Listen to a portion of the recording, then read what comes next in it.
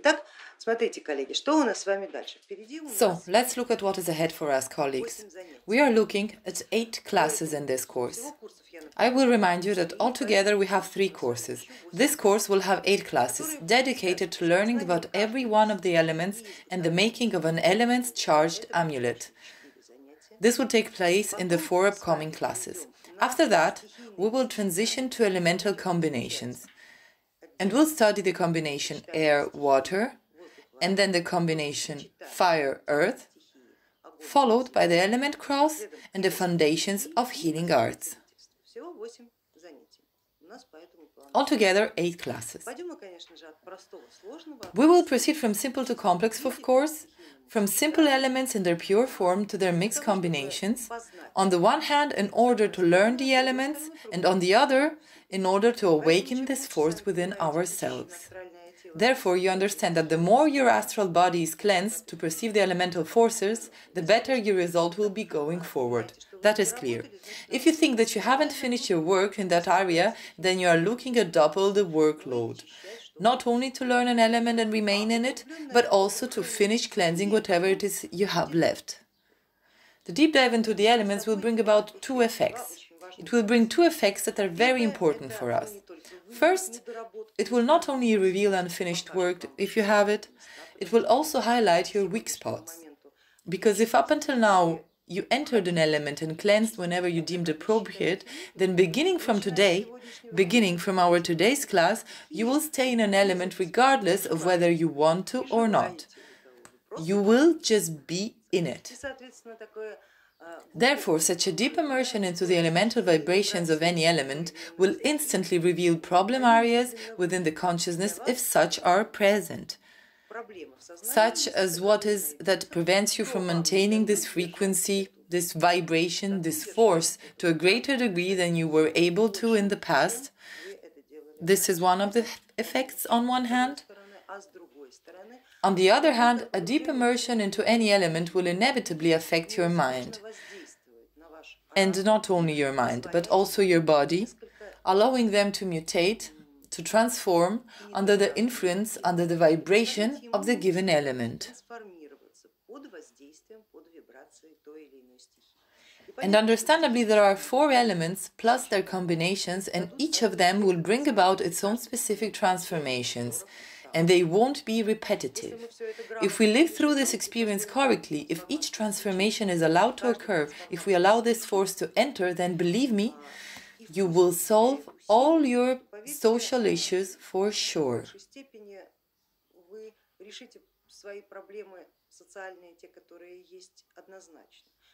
And why is that? Because all those problems of yours, they came about only because you couldn't access and live off of the elements in their purest form.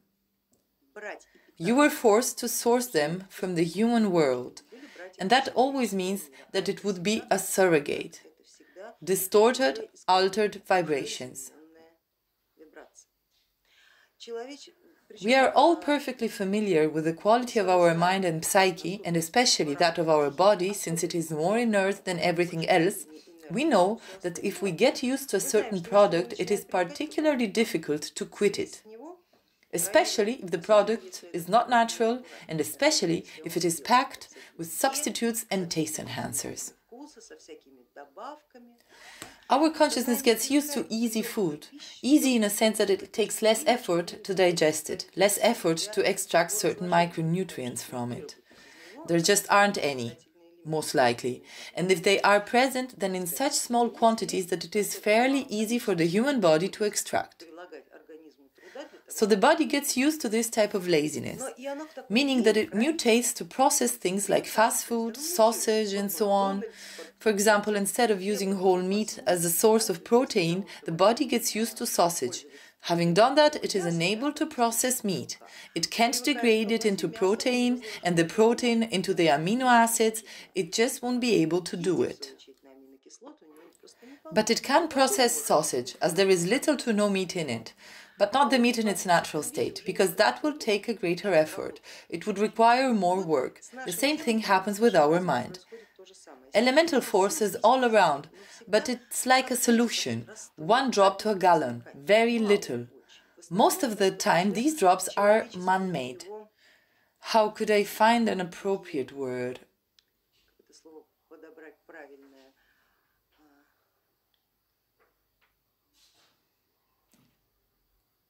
Clones, I suppose. Fake elements, but passing as authentic.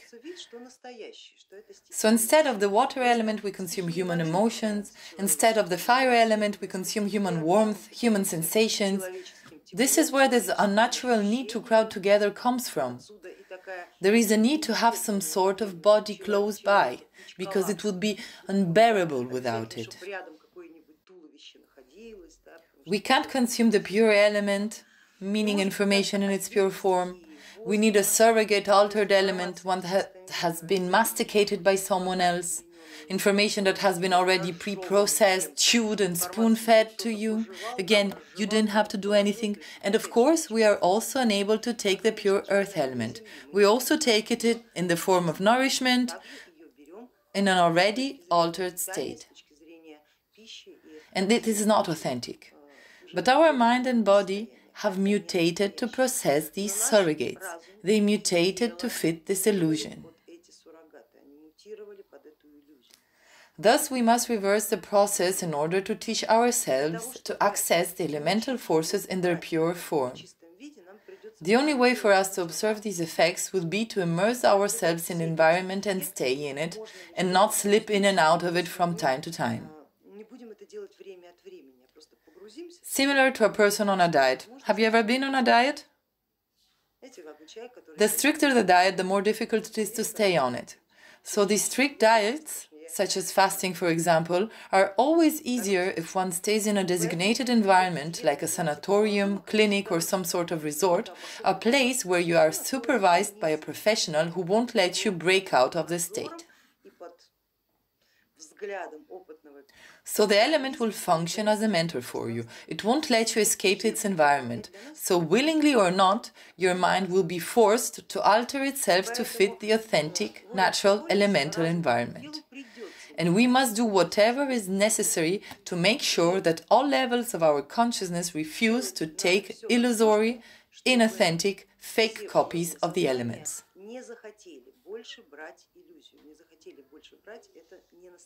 Therefore, the immersion into an element must be done wholeheartedly. It must be true. And in order for it to be true, when we are exploring a certain element, we will be making an amulet, so that it can serve us as an anchor. An anchor to keep you submerged within an element. Today you will be receiving the stones that will serve as amulets, and you work with them according to the instruction I will provide you. We learn an element with the aim to fathom it completely, let it enter our body and develop an immunity so that to never, under any circumstances, accept surrogates from the human world or fall victim of provocations that come from the human world. How will we achieve this? This is the subject of our next course in the Elements department, but for now, you must develop a rule. The elemental power is better than any other. And for this, we should immerse ourselves in it, stay in it for a while, and see its positive as well as negative effects. Everything has its positive and negative effects. One element increases work capacity but lowers the intellect, while another element may increase the intellect but lower the physical endurance, for example. Respectively, we could assume that the combination of two elements would imply both types of effects in the needed quantity and proportion. But in order to know your individual needs in terms of the proportions and quantities of elemental forces, you must learn and awaken all of them, experience your own individual reactions to each of the elements. Depending on that, you will come to understand which of the elements and in what quantity you will require to be successful to be able to produce a result. And trust me, everyone will have their own success formula, because it is a chemical formula of the elements, which will also be different for everyone. A universal formula does not exist, never did, not under any circumstances. No person has a universal element. This selection happens on an individual basis. And our task at hand will, of course, be to find our own recipe, an individual prescription of the elemental forces. We live in cities, among people, where population density exceeds all reasonable limits. A city is a sewer, it is a prison. And from the viewpoint of all the living creatures existing in this world, people should live in a city, an enclosed space like a prison. And it would be best if they didn't leave the space because every human in essence is a carrier of a virus for all surrounding elemental forces and races as well as animals and so on because humans have mutated their consciousness, mutated from a natural to some sort of surrogate state, and they search for this surrogate in the surrounding environment. Like in that joke, even if you take a person out of the city, he will try to breathe next to the exhaust pipe. Jokes aside, this does realistically reflect the mutation of human consciousness, and therefore, if one needs an exhaust pipe in order to survive when in the forest, it probably means that he will bring the exhaust pipe with him wherever he goes. They don't have any exhaust pipes in the forest, and this means that the, he will pollute the environment with such a foulness, an environment that doesn't even belong to him, while jeopardizing the lives of all others. Therefore, the city is the only place in which a mutated consciousness will be able to survive. And you will feel it once the mutation that you have will start to reverse, and you will see how the presence of people density around you will become not only unneeded, but even unnecessary. And you will long to be in a natural environment that you truly need.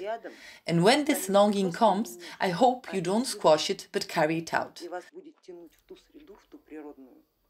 Human beings, as a part of nature, should live in direct contact with her. If one is being drawn away from nature, that would be a telltale sign that their consciousness began to mutate. Through sausage, fast food, bad diet, and incorrect interactions with nature.